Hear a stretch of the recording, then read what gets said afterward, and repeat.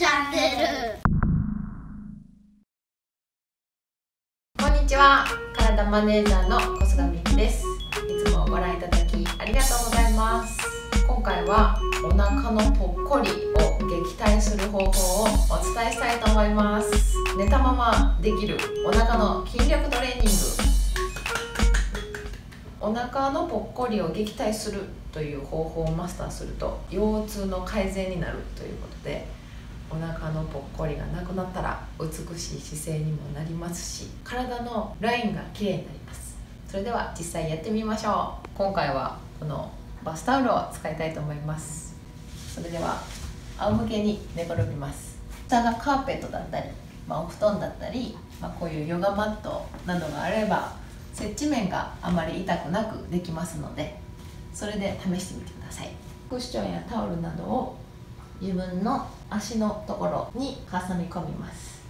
で足をなるべく直角にしてみましょう。肩の力を抜いて呼吸を整えます。そこからゆっくりと膝を胸の方に近づけるように骨盤からお尻ゆっくりと上げていきます。4秒キープしたらゆっくりと元の位置に戻します。これを7回続けていきます。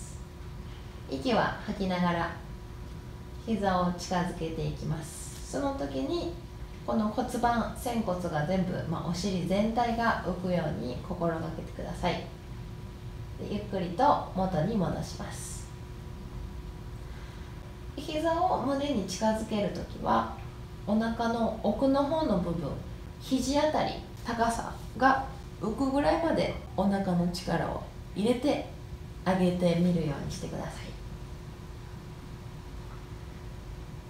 骨盤を動かせれるようになるっていうのもありますしお腹の奥の部分が本当に使えていればしっかりとお尻が引き上がってくると思います。表面というよりは奥を意識して行ってみてください。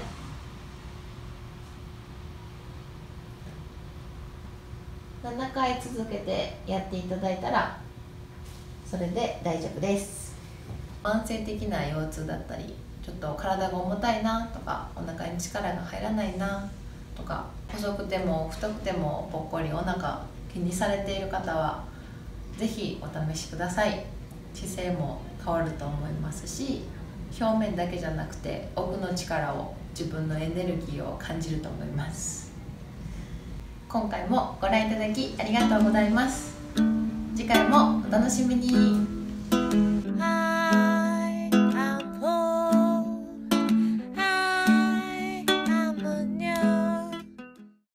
この動画を見ていいなって思った方は是非チャンネル登録をしてみてください。アートマンチャンネルでした。